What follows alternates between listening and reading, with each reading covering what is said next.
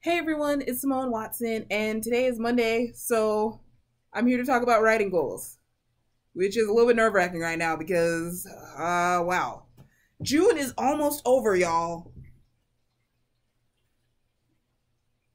Like, where did, when did, what, what? So, um, that's why it's a little bit scary because it's gonna be July, and then it's gonna be August, and when August starts, it's gonna be time for Pitch Wars and I'm like suddenly like, oh my gosh,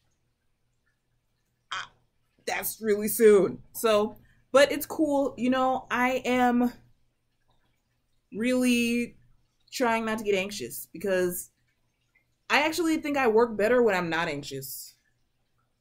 So, yeah, so to just kind of take it in stride and be like, okay, I've got things to do, I can get those things done, etc.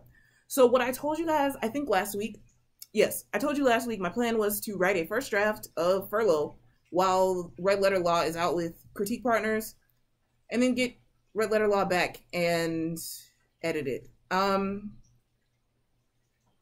yeah, that's kind of still. I want to write a first draft for Furlough, and I need to just do it. Like, I need to stop making excuses and just do it.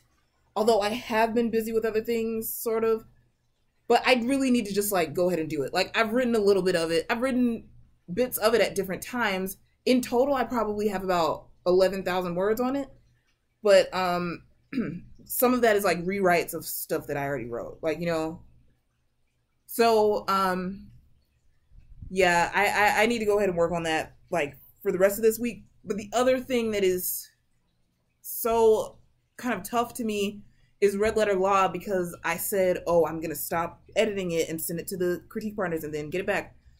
But there are still things nagging at me.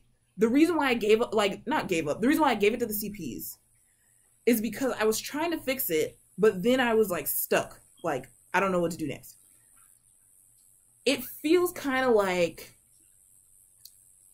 when your car is in like a this is like hypothetical. I haven't actually been in this situation, but when your car is in like some mud and you keep like getting like unstuck a little bit and then stuck again and unstuck a little bit and stuck again, that's how I feel with red letter law. Like, okay, I kind of know how to fix it. I kind of know to do this, but then I'm like stuck. And so it feels weird because it's with these CPs and I don't want to stop them from reading it because I'm like, oh, let me just change everything.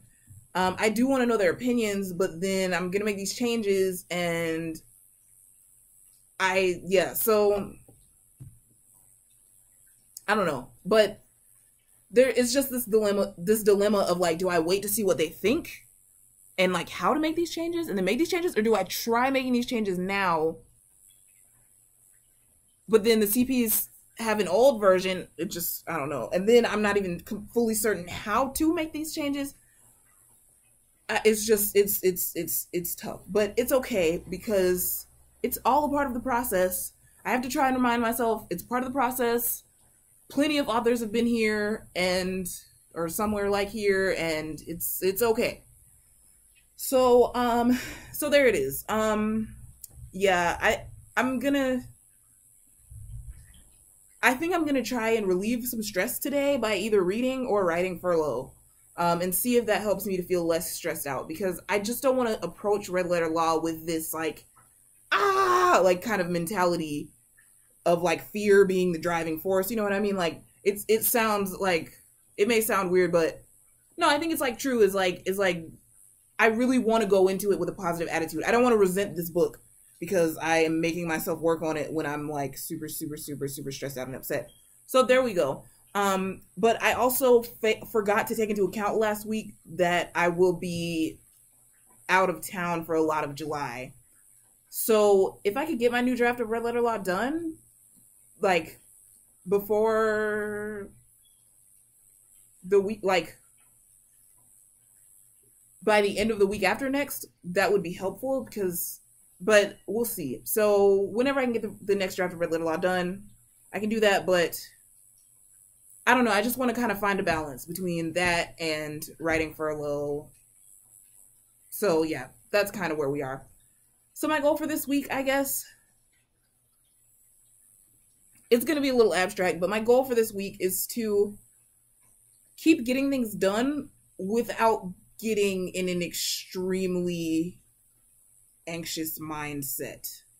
Um, yeah. So, yeah, I don't know if I mentioned this to you guys, but in May I kind of had a hard time with my physical health. Um, and I think sometimes my mental health affects that. Like it may sound weird, but I think like the stress can kind of so not that all stress is bad, but just like that I have to remember not to put things out of proportion. Like it's not going to be the end of the world if I don't finish the first draft of furlough before I go back to red letter law. Like it's not going to be the end of the world. I just have to calm down and kind of take it in stride. Um, I also would like, let me see, by the end of this week, let's say I'd like to have like, let's say I would like to have something written on furlough more than what I have because I have like 11,000 words. Like, I would like to have more than 11,000 words. Like, it's just, let's just write something. And I would like to have a clearer idea of where the revisions for red letter law are actually going. Um, I just need to kind of streamline toward whatever that goal is with red letter law. So, um, yeah, that's where we are. And that's pretty much the end of my writing goals for this week. I hope it doesn't sound really boring. Um, I would love to tell you my goals for July as well, but I don't really know. Everything's sort of up in the air right now. So, but basically, my my general goal for July is going to be to get ready for Pitch Wars.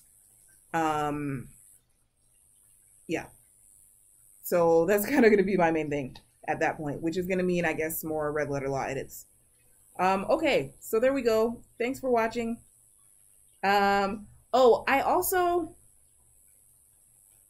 yeah, I'll talk more. I don't know. I'll talk more about furlough at a later date. So, um, thank you so much for watching and I'll see you soon. Bye.